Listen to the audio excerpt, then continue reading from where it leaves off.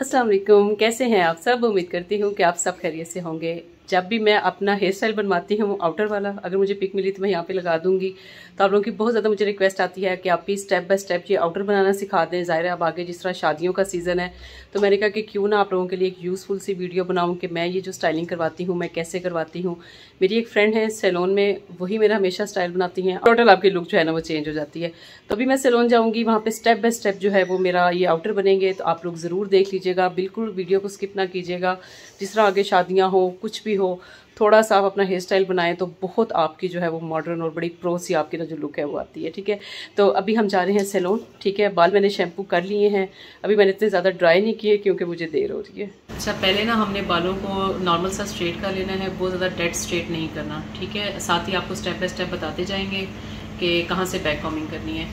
As a heat protector भी आप ये ऑयल रिप्लेसमेंट जो है चिल्तन पे का आप यूज़ कर सकते हैं। अच्छा इस तरह की आपको पैकिंग में मिलेगा, एक तो आप शावर लेने के बाद इसे अपने बालों पे अप्लाई करेंगे तो आपके बाल जो है एक तो मॉइस्चराइज रहते हैं अगर जिनके बाल बहुत ज़्यादा उलझ जाते हैं, उसके लिए ये बहुत बेस्ट है।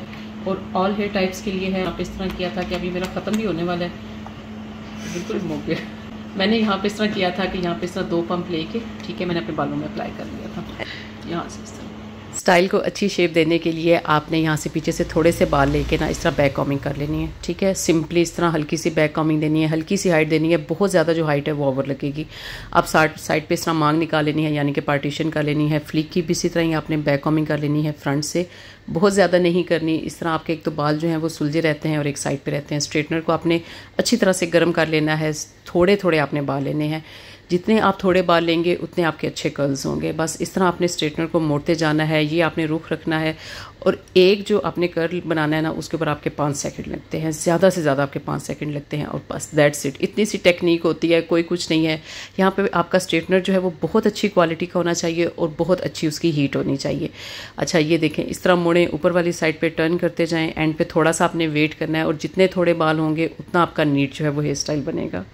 और यहाँ पर मैंने एक कंडीशनर भी यूज़ किया था, उसका भी मैं साइड पे लगा रही हूँ। ये गार्लिक कंडीशनर जो है, ये बहुत अच्छा है, जिनके बाल गिरते हैं, बालों में चमक नहीं होती, जिनको स्कैल्प का इन्फेक्शन रहता है, उनके लिए ये वाला कंडीशनर जो है वो बहुत बेस्ट है। और स्टाइलिंग से पहले तो ये कंडीशनर मस्ट यूज़ किया करें।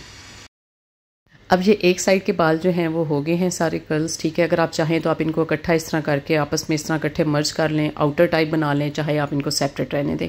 अच्छा अब आपने दूसरी साइड से जो बाल उठाने हैं, यहाँ पे बिल्कुल सिर्फ़ आपने एक दफ़ा ट्विस्ट करना है, ठीक है? एक दफ़ा छोटा सा कर्ल देना अगर आप बहुत ज़्यादा देंगे, फिर बाल पता है ऊपर हो जाते हैं और फिर आपका चेहरा जो है वो बहुत ज़्यादा चबी चबी और चौड़ा लगता है, बस इसी तरह ही। अच्छा मेरी जो कटिंग है वो स्टेप्स प्लस लेयर्स हैं, इस तरह करके अगर आपका जो हेयर कट है तो आप उसी हिसाब से कर लें। आप देखें, बिल्कुल कोई टाइम नहीं लगता और माशाल्लाह इतने अच्छी से लुक आती है बहुत ग्रेसफुल आगे मैंने आप वीडियो के अंदर अपना हेयर कलर भी बताया हुआ है और इसी तरह इसी प्रोसेस के साथ आप सारे जो है वो कर्ल करते जाएँ स्ट्रेटनर का बस आपने ध्यान रखना है, कोई इतनी लंबी चौड़ी टेक्निक नहीं होती और बहुत ही माशाल्लाह से प्यारी और डिसेंट जो है वो लुक आती है।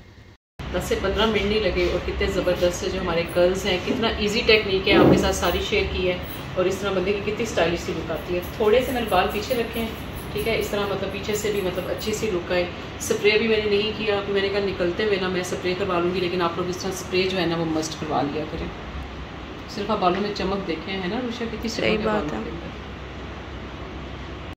उम्मीद है कि आज की वीडियो भी आप लोगों के लिए बहुत हेल्पफुल रही होगी। अगर यार हेल्पफुल रही हो तो कुछ भी नहीं करना सिर्फ़ लाइक और शेयर कर दिया करें। और आप जिस तरह मैंने ये स्टाइल बनवाया ना, आप स्टेप बाय स्टेप इस तरह स्टाइल बनवाएँगे तो आपको बहुत अच्छा लगेगा। अब मुझे कमेंट्स आएँगे कि आप ही आपका हेयर कलर कौन सा है? तो मैंने दस दफ़ा अपनी वीडियो में बताया है कि मेरा जो हेयर कलर है वो पिस्टल ब्राउन और एक और कलर था ऐश ग्रीन। ये दोनों मिक्स करके जो सा कलर बनता है वो मेरा बन जाता है, ठीक है? अच्छा मैंने स्प्रे नहीं किया। आप लोगों ने हेयर स्प्रे मस्ट करना है क्योंकि मैंने किसी फ़ंक्शन पे नहीं जाना था। तो सिर्फ़ मैंने आप लोगों के लिए ये ट्यूटोरियल जो है वो शेयर किया था और साथ ही मैंने इंस्टा के ऊपर भी एक दो वीडियोज़ बना ली हैं। इंस्टा का भी आपको लिखा हुआ मेरा पेज का नाम नज़र आ रहा है। वहाँ पर भी आकर मुझे फॉलो करना आपको बहुत अच्छी मज़े की जो ट्रांजिशन है ना वो शॉर्ट्स देखने को मिलेंगी। अच्छा और ये देख लें आप कंडीशनर के रिज़ल्ट आप देख लें कि कितने माशाला से अच्छे हैं। अभी तक आप मेरे बाल देख लें कि कितने सिल्की हैं। और अभी तक आप मेरे बाल देख लेंगे, माशाल्लाह से कितने सिल्की हैं। आप लोग भी ये कंडीशनर यूज़ करेंगे तो आप लोगों को बहुत अच्छा लगेगा। स्पेशली जब आपने कोई अप्लाइंसेज यूज़ करनी हो ना बिजली वाली, ठीक है जहाँ स्ट्रेटनर हो गया कर्लर तो आप ज़रूर कंडीशनर करके और मास्क इस तरह अपने बालों पर लगा लिया करें। इस तरह आपके बालों की एक तो प्रोटेक्शन होती है और चमक बहुत ज़्यादा होती है, ठीक है। अब आप देखें कि कितनी स्ट्रेटनर की हीट थी, लेकिन आप खुद मेरे बालों में ना चमक देख सकते हैं।